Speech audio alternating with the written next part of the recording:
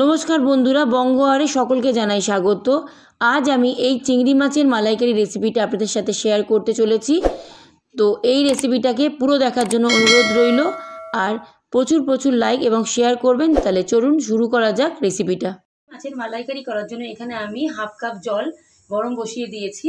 আর এখানে আমি ছটা বড় বড় এরম সাইজের চিংড়ি নিয়েছি। চিংড়িগুলোকে ভালো করে পরিষ্কার করেছি। একটা কাঠি এখানে লাগিয়ে দিয়েছি যাতে চিংড়িটা সোজা থাকে। এখন আমি এই ছটা চিংড়ি এই মধ্যে দিয়ে সেদ্ধ করে নেব।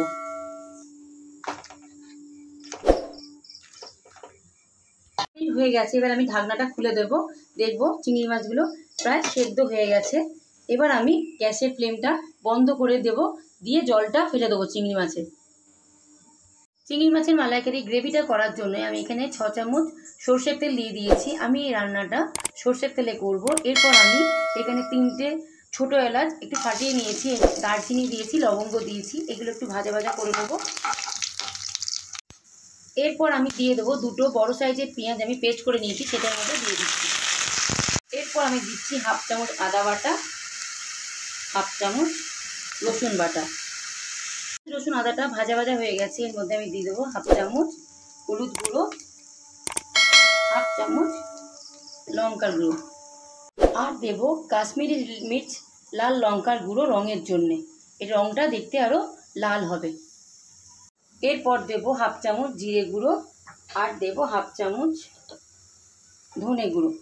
দিয়ে ভালো করে এটা কষিয়ে নেব। মশলাগুলো প্রায় ভাজা ভাজা হয়ে গেছে।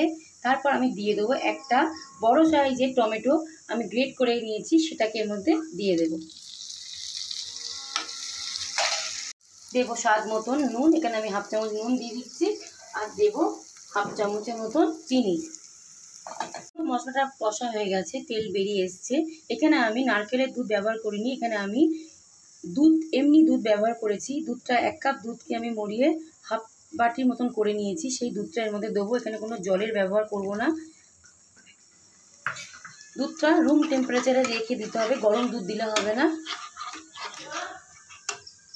আমি দিয়ে দেবো এখানে গুঁড়ো দুধ আমি তিন চামচ নিয়েছি। এই তিন চামচ গুঁড়ো দুধ এর মধ্যে দিয়ে দেবো। দুধটা দিয়ে আমি ভালো করে নাড়াচাড়া করে নিচ্ছি। এবার আমি চিংড়ি মাছগুলো সব এর মধ্যে, গ্রেভিটার মধ্যে দিয়ে দেব।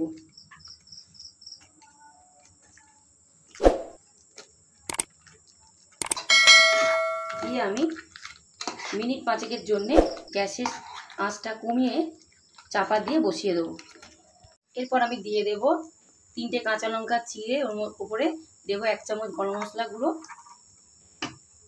আর দেব এক চামচ ভালো ঘি, গাওয়া ঘি। দিয়ে এটাকে আমি মিনিট দশেকের জন্যে গ্যাসের ফ্লেমটা কমিয়ে বসিয়ে রাখব। এবার আমি ঢাকনাটা খুলে দেখে নেব মালাইকারিটা হয়ে গেছে কিনা। দেখুন রেডি হয়ে গেল আমার মালাইকারি। এবার আমি এটাকে সার্ভ করে আপনাদের দেখাচ্ছি।